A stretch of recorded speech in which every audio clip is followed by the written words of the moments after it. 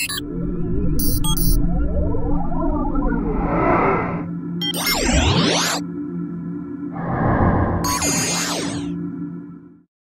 is not trying to say anything, it is just trying to make sure every part of the body gets the nourishment of blood flow. So it's your brain speaking in different tongues. So before you invest this life into something, you must look whether today if I invest my life into this, after twenty-five years, will it still mean a lot to me? After fifty years, will it still mean a lot to me? At the end of my life, if you turn back and look, will I be proud of this or will I be ashamed of what I'm doing right now?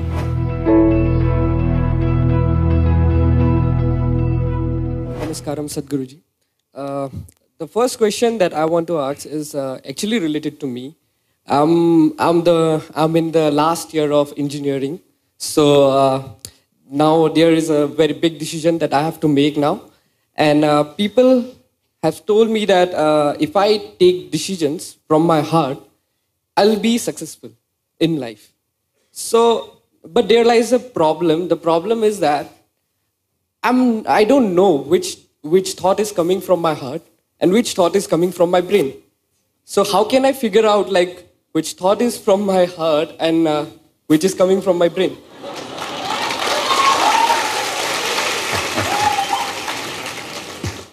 The heart uh, makes only two sounds, lub-dub. Unless the local girls are disturbing it and it's going a little crazy. Otherwise, it makes only two sounds. Rest of the noise is all coming from your head.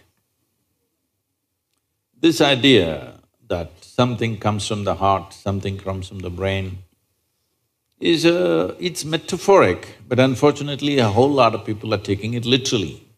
There was a time in many parts of the world, particularly in Arabia, the medical science in Arabia believed the blood is pumped from the liver. You might have heard Urdu sayings about Kalija, you know, have you? because they believed blood is being pumped from the liver, because liver is a far more complicated organ than the heart. Heart is a simple pump. So do not give it any more responsibilities other than continuously pumping the blood and keeping you alive, unless somebody here breaks it. so, uh, about the last year of engineering, I want you to change that language because this happened. Can I tell you a joke? It's okay? Yeah. You're pretty serious about this, that's why I'm asking. This happened. A very celebrated scientist was at a dinner and uh, he was not grandly dressed or anything, he was looking very ordinary. So the lady who was, you know, sitting next to him didn't pay much attention to him, she doesn't know who he is. But after some time, just to be polite, to make some conversation, May I know what do you do? He said, I'm studying science. She said, Oh, I finished that in my tenth class. So you're not going to, you know, you're not in the last year of engineering, maybe the course, but not the last year of engineering because for your entire life, if you learn engineering, when you're dying, after hundred years, okay? I'm not preponing it.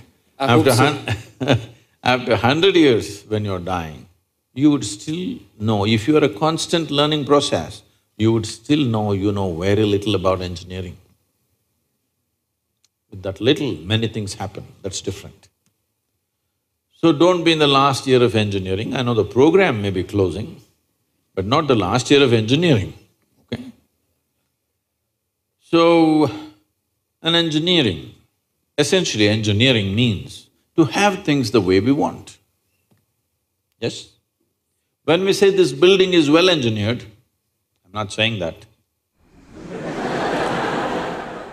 If we say this building is well engineered or an automobile is well engineered, what it means is it's functioning the way we want. Yes? Of all the pieces of engineering on this planet, of many pieces of engineering, a tree is a fantastic engineering, even a mountain is fantastic engineering because it stood there for a million years, that means it must be good engineering, isn't it? Yes? Something that stands there for a million years must be well engineered. Of all this, the most sophisticated piece of engineering is human mechanism, isn't it so?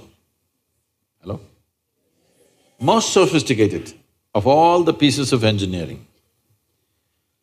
Now, because it's a sophisticated piece of engineering, it needs a certain level of attention, otherwise you don't figure it.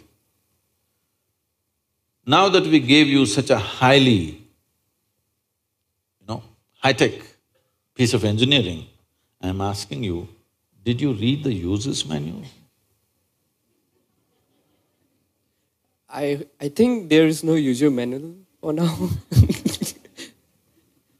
How can they make such a fantastic piece of engineering without a user's manual?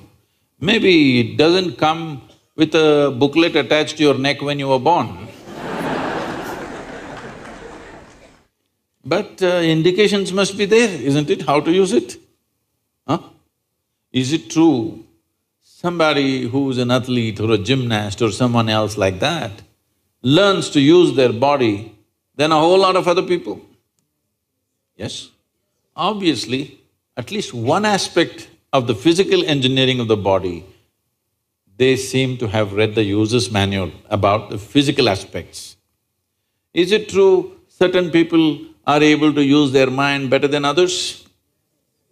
Maybe they read another part of the user's manual.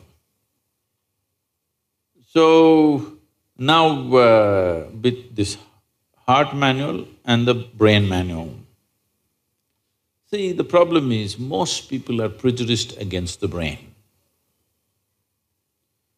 This is a question that always comes to me, Sadhguru, I want to meditate but thoughts are coming. The common question everywhere. I ask them, see, I'll make you meditate. We will stop the liver, we'll stop the kidney, we'll stop the heart, we'll stop everything, okay? Oh, no Sadhguru. So you want the liver to function when you're meditating. You want the kidneys to function. You want even the spleen to function, you want the heart to function, but you don't want your brain to function for some reason. This is simply because brain is a new equipment that you got in the evolutionary process.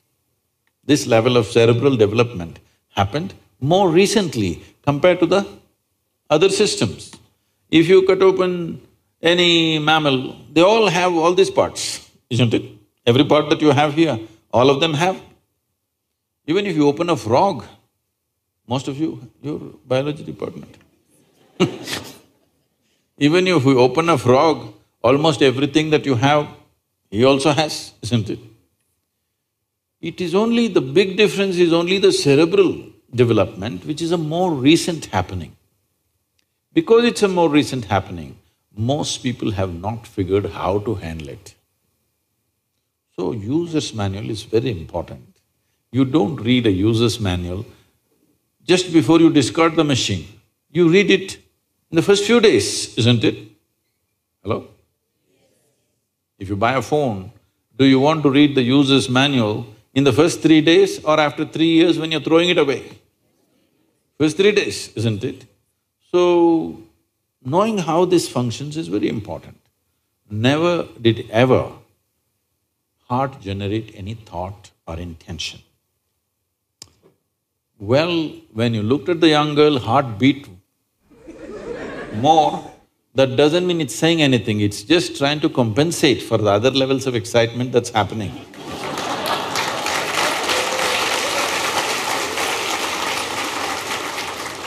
The heart is not trying to say anything, it is only compensating, you need more blood, so it's pumping. Little harder. That'll happen even if you run up the staircase. Yes? What happens to you little panting when you fall in love also happens physiologically when you run up a staircase, yes or no? Fear also does that to a whole lot of people. So, heart is not trying to say anything, it is just trying to make sure every part of the body gets the nourishment of blood flow. So, it's your brain speaking in different tongues. What's your native language? What's your mother tongue? Assamese. So, because when you know two, three languages, sometimes it gets confused, sometimes it speaks in English, sometimes in Assamese, sometimes in something else. So you're thinking different people are speaking, heart is speaking, mind is speaking, no. There is thought and there is emotion. People think these two things are saying different things. They're not saying different things. The way you think is the way you emote, isn't it so? Right now, if I think, oh, she's the most wonderful person on the planet. I just have to think. Then my emotions become sweet towards her. Now I think she's the most horrible creature on the planet. Now my emotions become nasty. Yes or no? I cannot think she's horrible and have sweet emotions. I cannot think she's wonderful and have nasty emotions, isn't it so? But today, I thought she's the most wonderful person and my sweetness was flowing. Suddenly she did something tomorrow that I don't like. I think she's horrible. Thought is agile, it changes direction just like that. Emotion is little sappy. It takes time to turn around. So that period, you struggle as if there are two dimensions of thing happening. Because thought is saying one thing, emotion is still going sweet because it takes time to become nasty. Everybody struggles, but it catches up or no after some time? Hello? Today you thought she's wonderful, sweetness was flowing, tomorrow she did something you don't like, you thought she's horrible, mind… the thought is clearly saying she's horrible, but emotions are struggling because they can't turn quickly, they take time to turn. But after a week or ten days or two months, depending on how deeply you're engaged, after some time, emotion catches up with the thought. Emotion also says, yes, she's nasty, horrible, so well, let's be nasty to her. so, they're not speaking different languages. One is agile, another is little slow in its corners. So, it looks like they're speaking different languages. When it comes to what you want to do, uh, you must think clearly, it's very important. Thinking clearly means, the question is not about what will get me this, what will get me that. Are you… is your life precious to you, all of you I'm asking? Your life, is it precious to you? Yes. So before you invest this life into something, you must look whether today if I invest my life into this, after twenty-five years, will it still mean a lot to me? After fifty years, will it still mean a lot to me? At the end of my life, if I turn back and look, will I be proud of this or will I be ashamed of what I'm doing right now? Doesn't matter what other people say. But you should not do anything that you will feel ashamed of, isn't it so? Huh? It doesn't matter, people say so many things. Everybody has opinion, it's their business. But you don't do something that you will feel ashamed of, isn't it? Then you're turning against yourself. Somebody turns against you, you can leave them and go somewhere else. If you turn against yourself, you'll have to live with it forever. So, this is all you have to look at it. Somebody… something will get you money, something will get you comfort, that's not the point. What you choose to do, will it give you a life? When I say give it… give you a life, are you just trying to make a living or are you trying to make a life out of this? It's important. Making a living is not an issue. A worm, an insect, a bird, an animal, all of them are making their life, making a living, isn't it so? They're even making a life out of it, but definitely they're making a living. So making a living with such a big brain is not an issue. Earning your food is not an issue, making a living is not an issue.